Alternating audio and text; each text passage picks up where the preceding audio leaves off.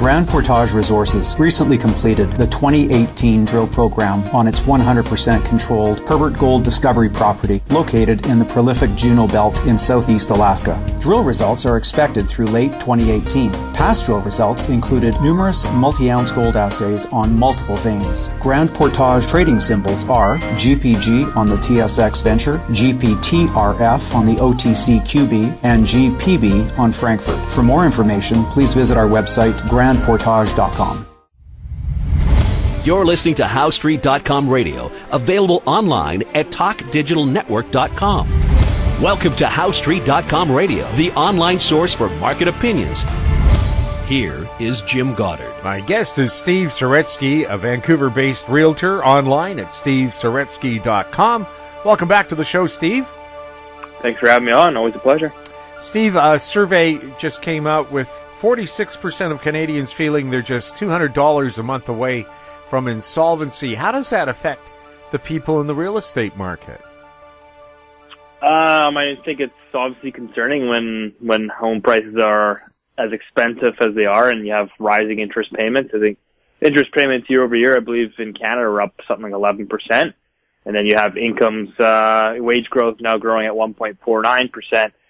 Uh, so I think it's uh, creating a debt servicing problem uh, here in Canada. So I think that's something to watch for in 2019, and we'll have to see the direction that interest rates go. Obviously, right now it looks like the Bank of Canada is on pause, and and my my sense is they probably won't get much further, uh, if at all. Well, it wouldn't take much to make your household uh, expenses two hundred dollars more a month, would it? Yeah, no, it doesn't take much. It could just be, uh, you know, who knows, increase in strata fee, maybe a special levy in there, and then all of a sudden you're in some in some financial hardship. So. Uh, it's really, you know, you don't really feel it too much as long as house prices are going up and you can continuously, you know, refinance your debt and pay off other debts, et cetera. But uh, it definitely becomes an issue if home prices, you know, as we're seeing starting to decline, um, you know, your ability to, to refinance debts uh, becomes almost impossible. Does human psychology react differently to real estate markets versus the stock markets?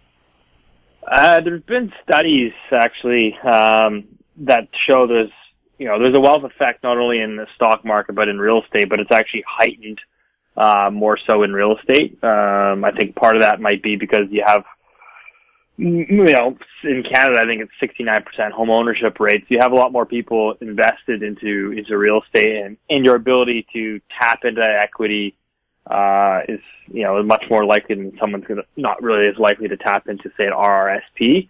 Um, so yeah, I think that's part of the reason that there's definitely a huge wealth effect in, into real estate, and that drives a lot of the consumer spending and spin-off uh, from from rising home prices.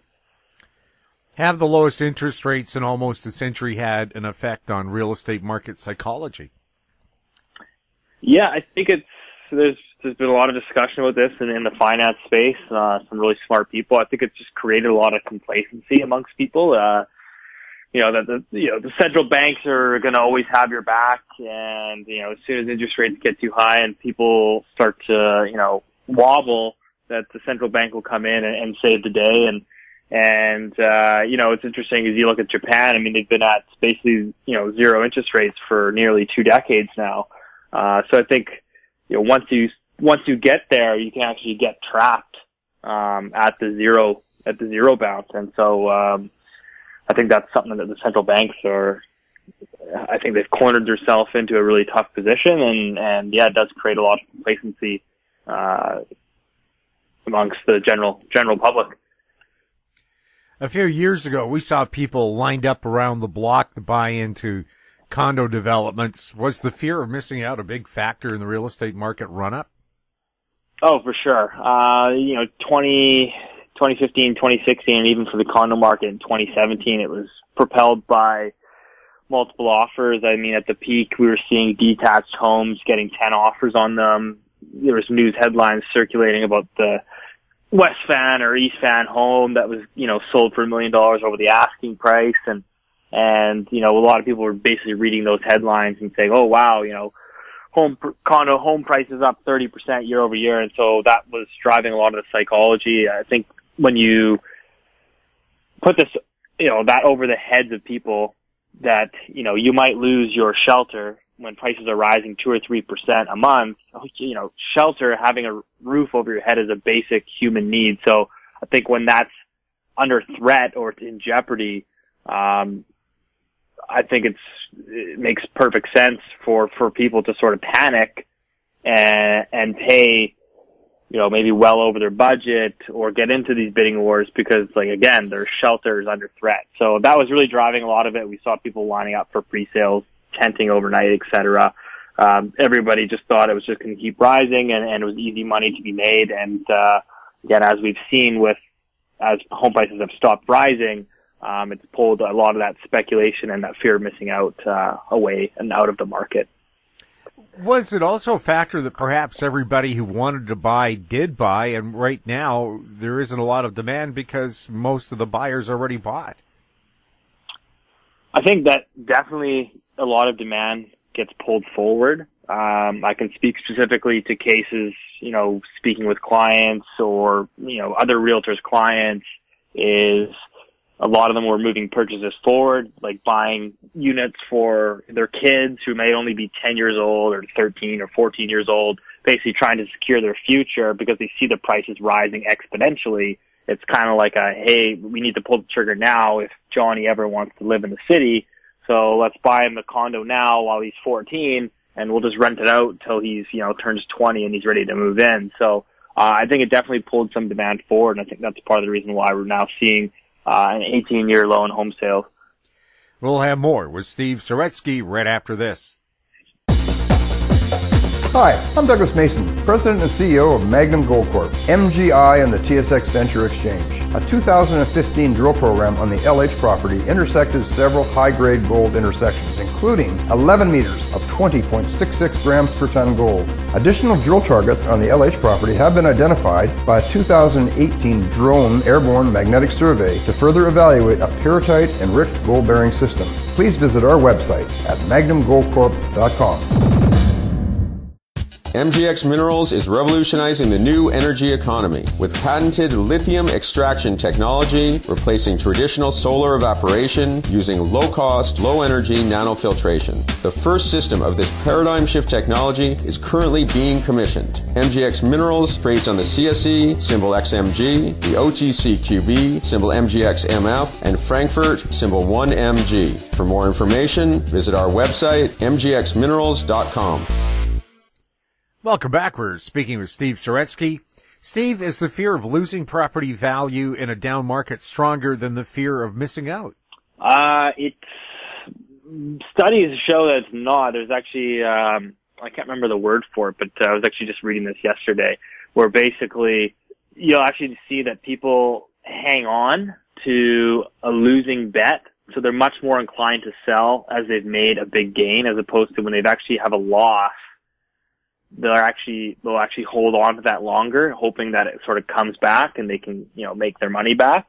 Uh, and so I think that's part of what we're seeing now a little bit in terms of um, quite frequently we're seeing in, in the new construction single family space. You know, a, a, a home builder would have bought a piece of land last year.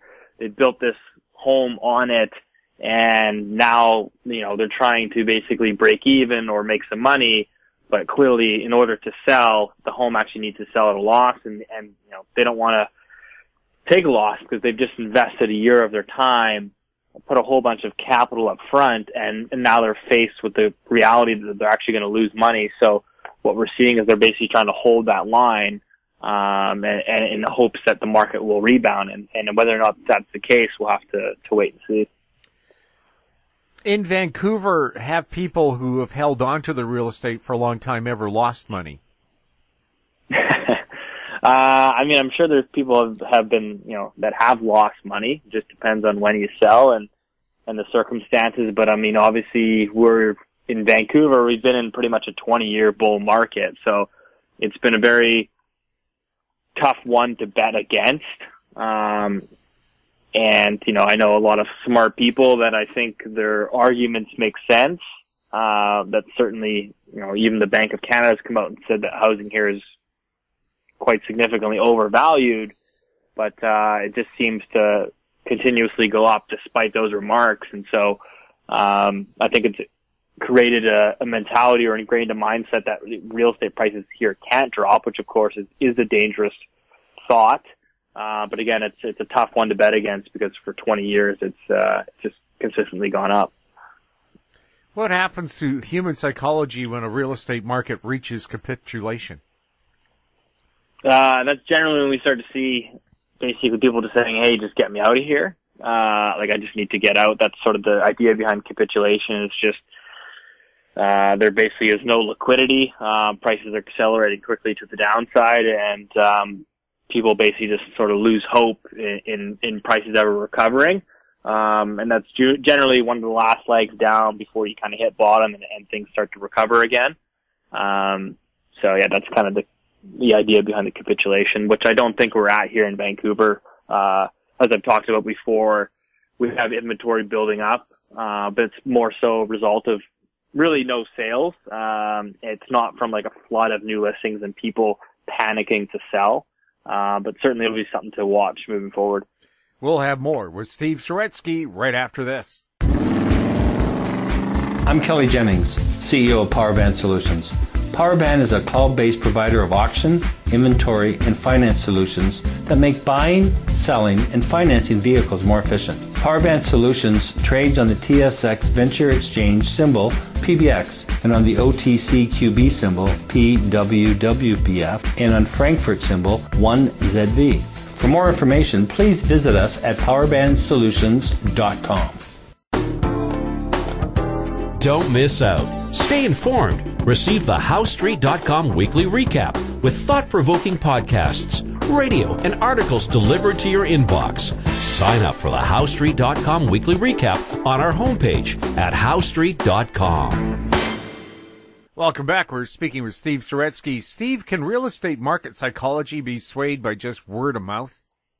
Yeah, there's, uh, I think that was part of the, you know, what drove it, uh, in, in, during the frenzy was the word of mouth. I mean, if you went to, similar to Bitcoin, you know, if you went to a family dinner or a party, you know, the only thing people were talking about was Vancouver real estate and how much it was going up and how much people were making.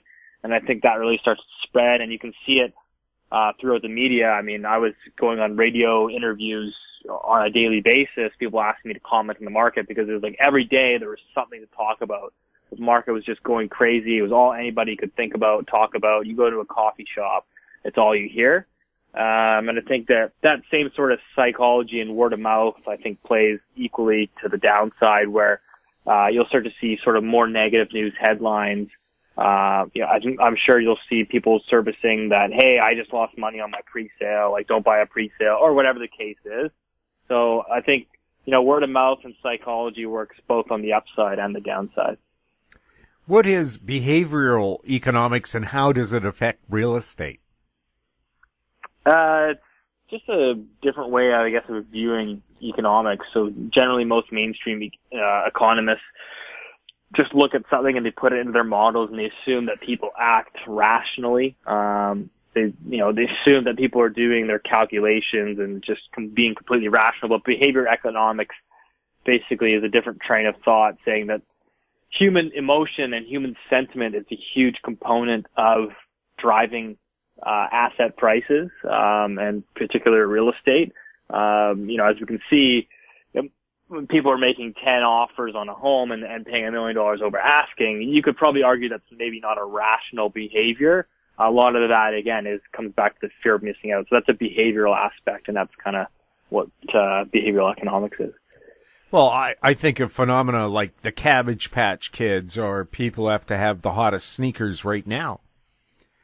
Yeah, know, I mean, uh, you can look at like Bitcoin. I mean, that was a huge uh, mania that we were in. That we were in every day on the news. They were talking about Bitcoin and all these new coins and crypto millionaires and and it goes back to, the, you know, back in the 1600s, I think it was the tulip mania, where people were buying and selling and trading each other tulips, and they had a futures market for tulips, and, uh, you know, eventually that crashed, but it's, again, it's all, it's all human psychology and, and sentiment. When did real estate become an investment instead of just a home? I think people might defer or differentiate on this, different, have different opinions, but I think uh, it really became more of a financialized asset. Uh, I believe it was in the 80s when they started creating, uh, you know, they started syndicating mortgages uh, through mortgage-backed securities and basically pooling them and, and you know selling them off to investors. So basically, it allowed the banks to increase their lending. Uh, basically, created another channel. So I think that's when you really started to see, uh, I think, the securitization of real estate, which I think helped to propel, uh, in my opinion, uh, what a home was viewed at. And that's why, like, I mean, back in those days, you'd see banks were only lending at, you know, 3x your income. Uh, whereas now, like in Vancouver, uh, maybe not the stress test, but it's, uh, in the frenzy, I mean, people were lending up to 7x your income, right? So it's no question that if you're going to increase somebody's leverage, uh, it shouldn't be a surprise that home prices have risen as much as they have. I mean, you're lending, if you're lending seven extra income versus three extra income, of course the home price is going to be higher. Do human psychology and behavioral economics combine to explain why people do what they do? Yeah, I think it's a huge proponent behind uh, behind the rise and, and demise of asset prices. I think it's a sort of a self fulfilling prophecy. If you have positive uh, consumer sentiment. People believe that prices are going to rise. They're happy to pay uh, an ever higher price for that asset. And I think similarly to the downside, if people believe prices are going to fall uh, or that they'll be cheaper in the years and months ahead, then generally people delay their purchasing decision waiting for things to, to drop. And I think that's again kind of where we're at right now is people are have moved to the sidelines. Um, people are hesitant to pull the trigger because people do believe that uh, there's a decent likelihood that prices will be lower um, in the months ahead. With 45,000 or so people a year moving into the lower mainland, is that going to continue to put pressure on rising prices? Is there a way for prices to come down when you have that kind of population pressure? I think it's an it's uh, a long term bullish argument to be made for Vancouver. I, I think the, the net is actually around 30,000. That's generally historically what we have is 30,000. Okay. Um, so yeah, I would say that, that, you know, in the long run, that's probably a positive and bullish argument, no doubt for Vancouver, uh, people moving to the metro city, but, um, part of the migration flows also depend on the strength of the economy. Uh, I would say that Vancouver and BC uh, as well as the province, a lot of our economic growth, our you know low unemployment, our you know strong GDP across Canada is because we have this housing and construction boom, and so it will be interesting to see as we're starting to see housing start to slow down, the construction sector, real estate start to slow down, the impact that may have on uh, our economy, our GDP, and as well as migration flows, right? So you get people moving here looking for jobs. A lot of them become employed in the booming construction and real estate sector. So um, I think that's it's sort of a they they really do go hand in hand. So you have to kind of look at the big picture. Steve, thank you so much for chatting with us. Yeah, no worries. Thanks for having me on. My guest has been Steve Saretsky, Vancouver-based realtor.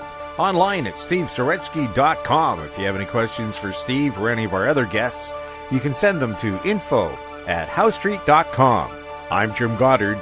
Thanks for listening.